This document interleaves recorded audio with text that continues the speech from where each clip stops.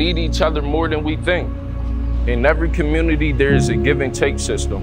Sometimes you're the one offering it, and sometimes you're the one receiving it.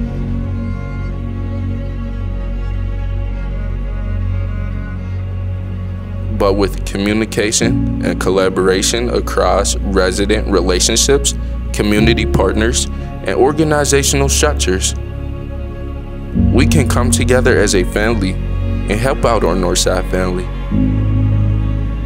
One Northside is at the forefront of providing this social change by establishing community-driven programs supported by people like me and you from the Northside.